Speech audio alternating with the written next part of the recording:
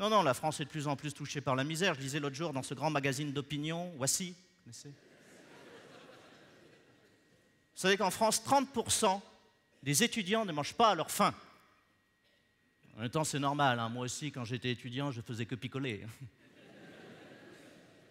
Le pain, le pain, 1,40€ la baguette aux trois céréales. euh, comme disait Carla Bruni, si le pain est si cher, mais qu'on leur donne de la brioche.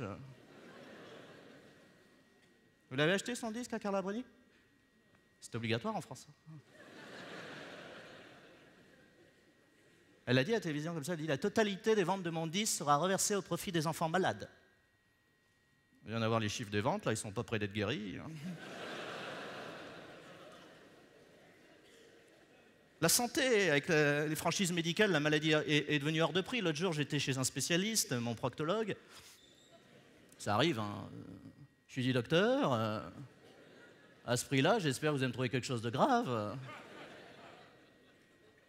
Alors, je suis comme vous, hein, maintenant, système D. hein. Partout, je guette les promos. Partout, tu vois. À l'église, je communie deux fois. Ah, c'est sympa, un gâteau sec à l'apéro, toi. Sinon, je fais les soldes, j'adore ça, les soldes. hein, tu vois. Moins 20, moins 30, moins 70%. Ouh les soldes, tu mesures à quel point le reste de l'année, tu te fais dilater. Les soldes, c'est le seul moment de l'année où tu vois des mères de famille qui courent plus vite que leurs gamins, tu sais. Eh, ta gueule, tu vois. Ouais, je me suis acheté une petite robe cette année en solde, de juge d'instruction.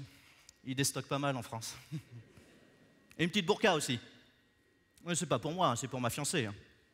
Non, elle n'est pas musulmane, elle est juste moche. Elle le sait, elle le sait, elle le sait. elle le sait, elle le sait. Mais j'ai renoncé, hein, non, c'est pas gentleman. Et puis entre nous, cacher un boudin sous une burqa, c'est pas halal.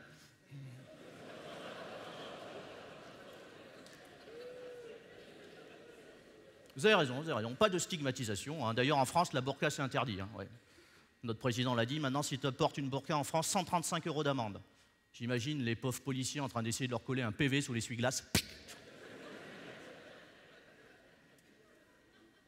Chef, il y a Fantomètre là euh, qui s'est caché là, hein? Bonjour madame, je rappelle que le port de la burqa est interdit, là, je vais devoir vous verbaliser madame. Bon ben déjà là c'est pas madame, hein, c'est Batman, était dans une soirée privée, toi.